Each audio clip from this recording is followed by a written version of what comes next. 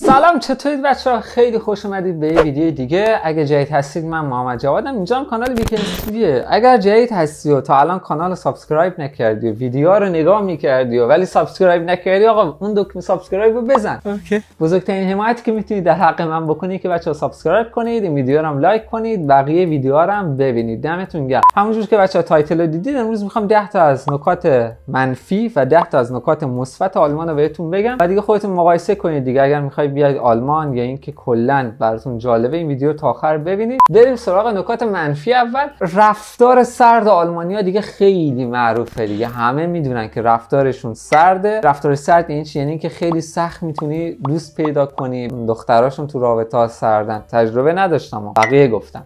آدم استرن خصوص رفتارشون که میگم این پیرزنا و پیرمرداشون بعضی موقع خیلی رو مخن. مثلا یه کاری اشتباه انجام میدی هی تذکر میدن این تذکر دادم یکی از نکات منفیشونه. حالا شاید برای بعضی مثبت حساب بشه ولی خیلی رو مخیه. نکته بعدی مالیات خیلی زیاد آلمان نسبت به کشورهای دیگه اروپایی. بعد یه چیز دیگه بچه این نکات منفی یا مثبت من نمی‌خوام فعلا با جای مقایسهش کنم. ولی دیگه این نکاتی که میگم خودتون با اون جایی که هستید مقایسه کنید. مالیات چرا زیاده؟ چون که بر اساس اون گروه مالیاتی شما مثلا مجرد باشی متحد باشی بچه داشته باشی نداشته باشی بین 30 الی 40 درصد از حقوق تو باید بدی به دولت. بالاخره یه خدماتی از دولت داری می‌گیری دیگه. مالیات هم باید بدی. بله. ولی مالیاتش نسبت به کشورهای دیگه خیلی زیاده. مثلا یه نفر که 4000 یورو درآمدش باشه مثلا یه پرستار حدودا 1000 تا 1200 یورو رو فقط باید مالیات بده. یعنی از حقوقش که میمونه یه چیزی حدود 3000 2800 تاش میمونه.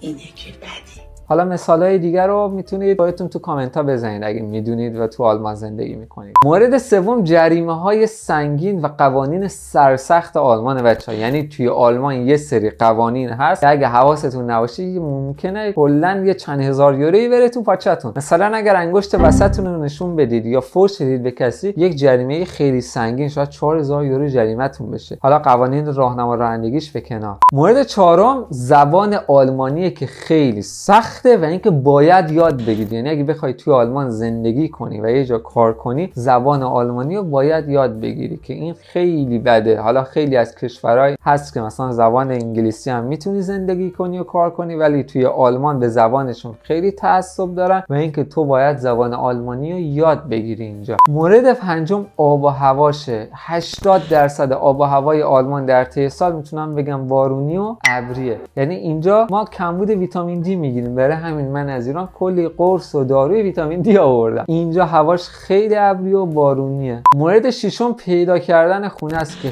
خیلی سخت و کمیابه. حالا تو خونه رو پیدا کردی خونه رو خالی بهت میدن. یعنی نقاشی و کاغذ دیواری هم خودت باید بکنی کلی وسیله هم باید خودت بخری اضافه کنی و آشپزخونه کابینت هم خودت باید بزنی. بعد از همه بدتر خونه رو می‌خوای تحویل بدی بری باید همه چی و وسایل رو جمع کنی. یعنی کابینت آشپزخونه رو هم باید باز کنی. আসসালামু আলাইকুম مورد هفتم بسته بودن فروشگاهاش آخر هفته یعنی یک شنبه کلا همه چی تعطیله. بعد فروشگاه مواد غذایش یک شنبه که کلا تعطیله. در طی هفته فقط فکر کنم 8 صبح 9 صبح تا ده شب نهایتا بازه. یعنی مثلا مثل اوکراین یا مثل ایران نیست که 24 ساعتی بعضی از فروشگاه باز باشه. که اگر مثلا تو یک مواد غذایی چیزی لازم داری بتونی بری تهیه کنی. مورد هشتمی که آقا توی آلمان هر اداره هر جایی بخوای بری باید ترمین یا قرار قبلی ملاقات بگیری یعنی وقت ملاقات یا قرار ملاقاتاشون هم خیلی دیر میدن. یعنی مثلا شما یه پزشک می‌خوای بری مثلا کمر درد می‌کنه نمی‌دونم دل درد می‌کنه. یه جایی می‌خوای بری حداقل پزشک یه هفته یک ماه بعد بهت وقت میده. بعضی موقع متخصصا خیلی سرشون شلوغه چهار ماه بعد وقت میدن. یعنی این وقت گرفتن دختر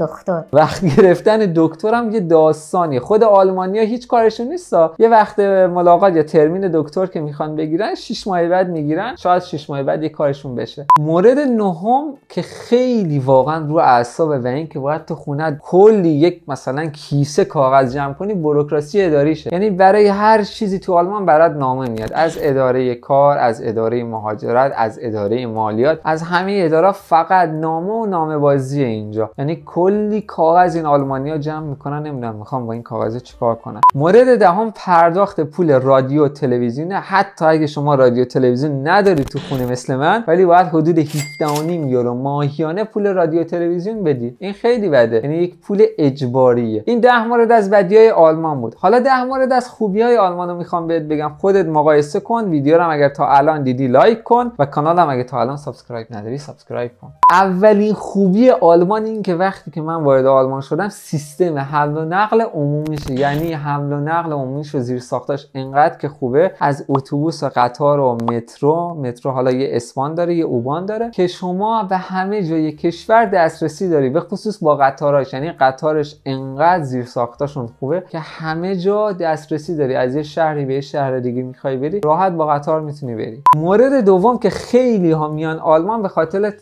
به خاطر به خاطر تحصیل رایگانشه. یعنی شما توی دانشگاه اینجا می‌تونید به زبان آلمانی رایگان درس بخونید. خیلی ها که از ایران یا کشورهای دیگه میان اینجا حتی طرف از آمریکا پا شده اومده آلمان. به خاطر تحصیل رایگانشه. ولی هر ترم باید یه چیزی حدود 280 تا 300 یورو بابت خدمات دانشجویی که هر ترم داره مثل مثلا بلیت اتوبوس و یه سری چیزای دیگه. بعد هر ترم حدود 300 یورو هزینه کنی ولی دانشگاه رایگانه. مورد سوم طبیعت و مکانهای دیدنی آلمان. آلمان اینقدر جای تاریخی و دیدنی داره که هر هفته می‌تونی یه جایی بری و برنامه سفر بچینی. مورد چهارم توی سیستم بهداشت و درمانشه که شما به اجبار باید توی آلمان بیمه داشته باشی. حالا چه کاری اومده باشی چه پناهندگی چه تحصیلی. بیمه اجباریه و خوبی که داره این که توی همه بیمارستان ها و حالا جایی که هست امکانات و تجهیزاتشون خیلی خوبه و اینکه شما مثلا کارتون بشه می‌خواید برید دکتر یا حالا اول پزشک خانواده یا حالا متخصص می‌خواید برید با بیمهتون رایگانه براتون. حتی مثلا ام یا یه سری عکس های سی تی اسکان اینا می‌خواین بگیرید رایگانه. اگه بیمه نداشته باش خیلی گرون براتون در میاد. ولی خوبیش اینه که اگه شما اینجا کار کنید یا دانشجو باشید اجبار باید بیمه رو داشته باشید. مورد پنجم که شاید تو ایران دیده نشه حقوق شهروندی بالاست. یعنی احترام دارن به حقوق شهروندی. یعنی شما تو اتوبوس مترو جایی هستی گوشی دستته کسی سرش تو گوشیت نیست. و اینکه امنیت بالاست. به خاطر اون حقوق شهروندی اینا امنیت بالاست. یعنی توی شب یه توی ایستگاه اتوبوس یا توی خیابونی داره راه میره مزاحمت خیلی کم و به ندرت اصلا نیست تقریبا. چون که می‌تونه ازت شکایت کنه و شکایت کنه خیلی جریمه سنگینی می‌تونی داشته باشه. چون که یه قانونی که داره از ساعت ده شب تا 6 صبح موقع استراحت و هیچ کسی نباید برای دل زدن انجام بده موسیقی بلند داشته باشه و سر صدا کنه و گوشی دزدی و اینجور چیزا هم خیلی کمه. مورد ششم درآمد بالا توی آلمان هست که اگر کار کنید شما یه درآمد نسبتا خوبی دارید و متعادل با هزینه‌های زندگی. بعضی موقع هم یه 200 300 یورویی حداقل میمونه که می‌تونید پس انداز کنید مورد هفتم بچه‌ها که خیلی ها با این انگیزه میان. آلمان گرفتن پاسپورت شهروندی آلمانه و اقامت دائم. چون پاسپورت آلمان یکی از قدرتمندترین پاسپورت های دنیاست و اقامت دائم هم وقتی داشته باشی راحت می‌تونی کار کنی و سفر کنی. ولی با اون پاسپورت هست که شما می‌تونی خیلی از کشورها رو بدون ویزا بری. مورد هشتم بچه شرایط پیدا کردن کار توی آلمان خیلی راحته و کلی متخصص نیاز دارن و نرخ بیکاری هم خیلی پایینه نسبت حالا به ایران و بقیه کشورها. و توی آلمان وقتی که کار راحت پیدا کنی یه حقوق خوبی هم نسبتا می‌تونی داشته باشی و خرج زندگی رو در بیاری. مورد نهم اینه که با وجود اینکه خود آلمانیا خیلی تنوع غذایی ندارن ولی توی آلمان توی هر شهری چون جمعیت ایرانی و افغان زیاده شما رستوران ایرانی ترکی افغانی می‌تونی پیدا کنی و غذای ایرانی بخوری. به خصوص که سوپرمارکت ایرانی خیلی زیاده تو یعنی تو هر شهری تقریبا شهرهای بزرگ همه جا می‌تونی سوپرمارکت ایرانی پیدا کنی و مواد غذایی ایرانی بخری. و مورد دهم مورد آخر این که آلمان مرکز اروپا و اینکه شما می‌تونی آخر هفته راحت به یک کشور اروپایی دیگه سفر کنی چون کلی کشور اروپایی هم مرزه با آلمان. این بود بچه ها 10 تا از خوبی ها و بدی های آلمان. حالا قضاوت با خودتون اگر تو آلمان زندگی می‌کنید اگر موردی من جا انداختم نگفتم از خوبی ها یا بدی ها ما تو کامنت ها بگید like ویدیو بچه ها یادتون نره تا 4000 تایی شدنمون چیز دیگه نمونده. اگر ویدیو رو دوست داشتی subscribe کن و حمایت کن و ویدیو رو به اشتراک بذار. دمتون گرم. تا ویدیوی بعد فعلا.